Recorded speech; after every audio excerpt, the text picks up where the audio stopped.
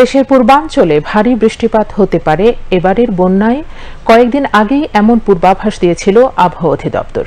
কিন্তু প্রশ্ন উঠেছে, সেই পূর্বাভাস সাধারণ মানুষকে কতটা সতর্ক সচেতন করতে পেরেছে?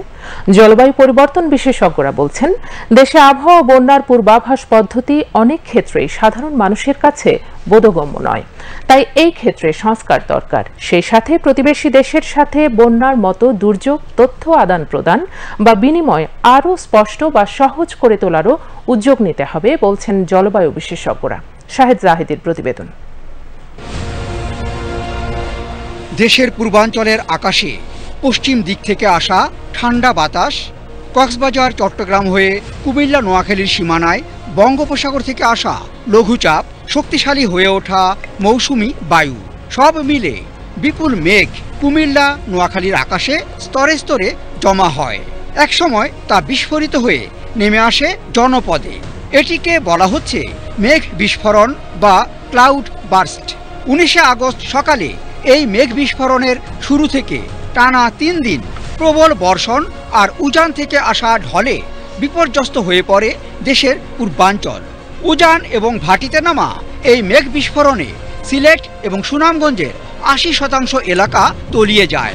আর হঠাৎ এই অতি বৃষ্টির পানি সহজে বের হতে পারেনি নদীখাল জলাশয়গুলোর ভরাট দশার কারণে।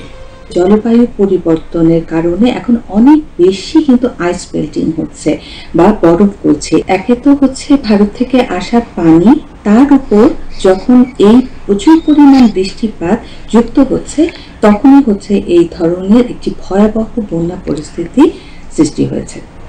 বিশেষজ্ঞরা বলছেন, বিদ্যমান পূর্বাভাস ব্যবস্থায় এমন বন্যার মতো ভয়াবহ দুর্যোগ আগেভাগে বোঝা দুরূহ।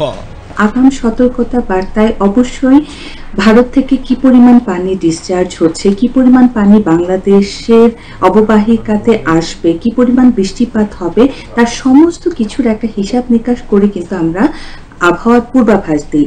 এই জায়গাটাতে কোথাও বোধহয় অবহেলার জায়গাটা ছিল, তথ্যর আদান প্রদানগুলো ঠিক মতো হয়নি এবং সম্পূর্ণভাবে আমরা পূর্বাভাস দিতে ব্যর্থ হয়েছি।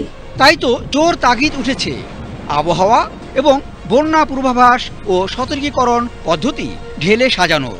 দুর্যোগ তথ্য যথাযথভাবে আদান প্রদানের মাধ্যমে প্রস্তুতি ব্যবস্থা ও ক্ষয়ক্ষতি রোধের যুগোপযোগী সংস্কারমূলক পদক্ষেপ আজ জরুরি হয়ে উঠেছে। ভাষ্য সংশ্লিষ্টদের। শাহেদ জাহিদি, বাংলাদেশ টেলিভিশন, ঢাকা।